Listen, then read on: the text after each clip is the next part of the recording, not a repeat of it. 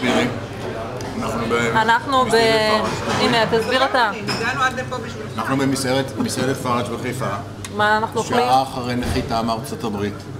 בשער ראשי, חומוס ולהקת... אה, איזה להקה? התואמים. כן, להקת תואבים. אה, וצריך להראות את פראג'. פראג'. רגע, אני מראה את הפרימוס. רגע, פראג', בוא בוא בוא. בוא פראג'. צלמי אותו, זה פראג'. איפה פרד? לאיפה הוא הולך עכשיו? אברהם?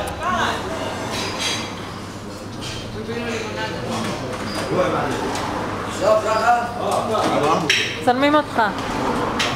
מה, עושה וידאו?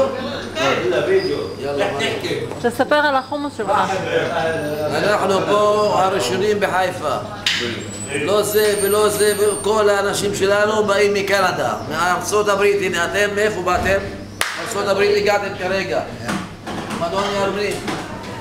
בצלחת שלך אוכל ערבי, דרוזי, מוסלמי, נוצרי, הכל באותו צלחת אנחנו. זה הכל משלם. והעיקר כשר. מה? וכשר. לא, כשר לא. כשר לפסח? לא כשר לפסח.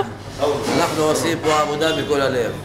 אני בא כל יום בשעה ארבע בבוקר, או, זה חשוב. עד שמונה בערב. אני נופל מהמיטה בשביל החומוס, חולם על החומוס שלנו.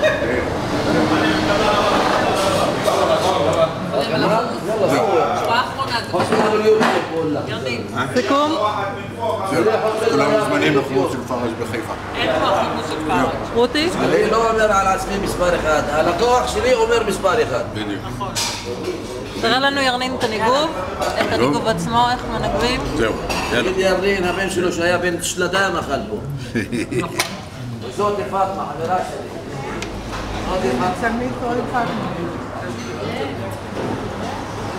טוב. יארוך מדי כבר. תערוך את זה. סגרי. תסגור. סגור. זה.